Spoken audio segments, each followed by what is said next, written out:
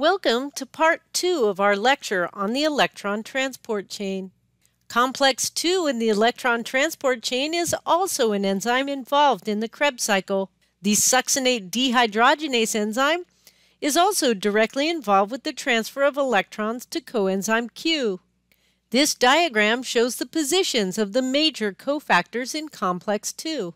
The FAD, shown in blue, is reduced during the oxidation of succinate within the Krebs cycle.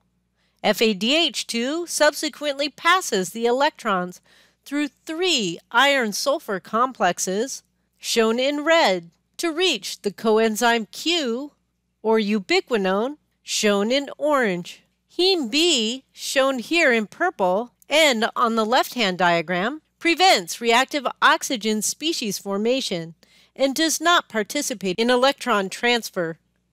Let's talk a little more about the heme cofactors as they will be important players at later points in the electron transport chain. Among the known forms of heme cofactors, heme B and heme C are the most common types of heme groups associated with proteins.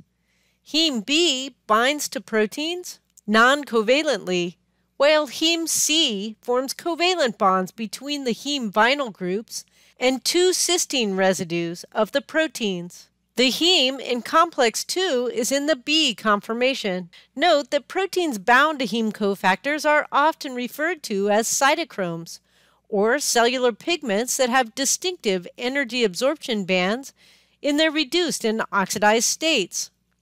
Cytochromes are classified according to the type of heme that they bind. Four major classes are recognized.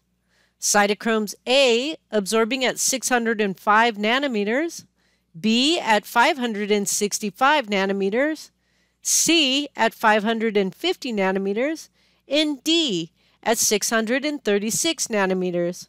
The figure on the left shows a recombinant mutant hemoglobin protein in the reduced state with a mixture of heme A, B, C, and D.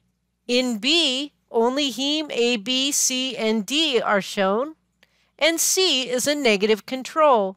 You can see the characteristic red coloration of the heme cofactors. Now back to complex 2.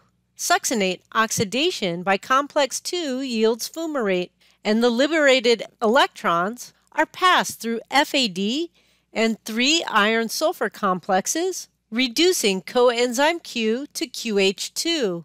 Complex 2 is a Krebs cycle enzyme providing a direct link between the Krebs cycle flux and electron transfer in the respiratory chain. Complex 2 is also embedded in the inner mitochondrial membrane, but is not a protein pump. Unlike complexes 1, 3, and 4, complex 2 does not couple electron transfer to protein translocation into the intermembrane space. This is attributed to the low Gibbs free energy change for electron transfer in complex 2 to coenzyme Q.